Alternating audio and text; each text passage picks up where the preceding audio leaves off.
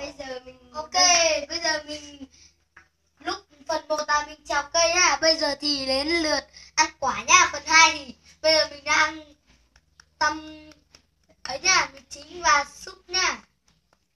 Làm bát ớt siêu cay khổng lồ luôn các bạn ạ. Siêu cay để chấm nó mơ nhá vâng, đấy, siêu rất là siêu cay luôn. toàn ớt đây chỉ có mấy cái đây là ớt bột Đây nha. là ớt bột nha. Đấy, rất là ngon luôn bây giờ mình sẽ ăn nhá mình sẽ đi ăn.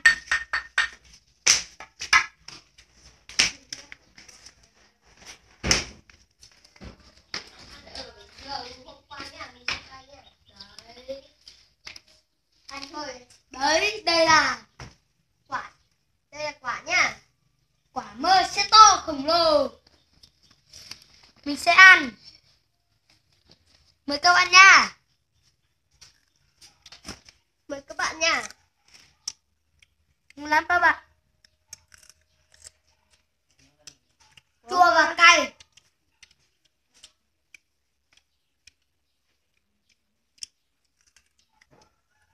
nhìn nó nhìn nó xanh thế thôi nhưng mà chua lắm các bạn ạ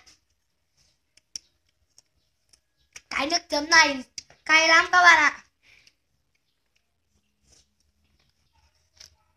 Ở dưới thành phố thì không có quả để ăn đâu. Và không có nước chấm như thế này đâu. Nước chấm của mình tự chế à. chấm bột Nước chấm này có tỏi này, ớt này, súp súp và súp bột canh này. Quá, có ớt nữa anh em ạ. có một quả ớt không phải ớt bột nữa nha mình ăn xong một quả rồi nha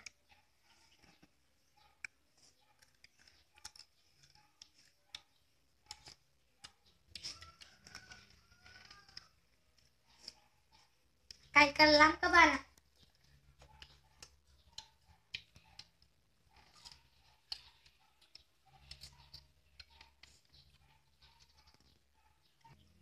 Cay quá anh em ạ, mình phải uống nước cho nó đỡ cay.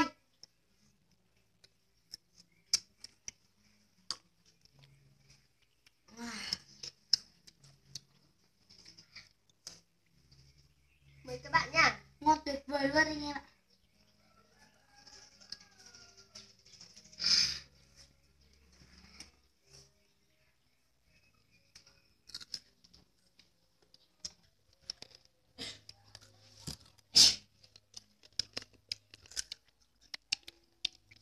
Rất ngon luôn.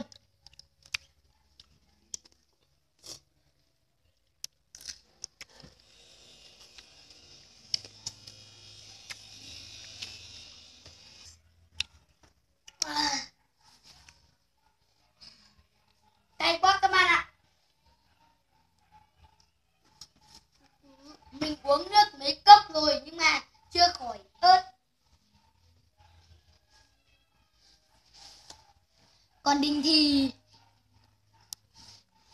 Đấy. Đây. quá. Review cho các bạn quả ớt này. Đấy. Ớt này xanh lắm các bạn ạ. Đây có phải quả ớt đâu. Quả mơ mà. Ừ, lộn lộn lộn. Mình cho các bạn xem quả to nha. Đây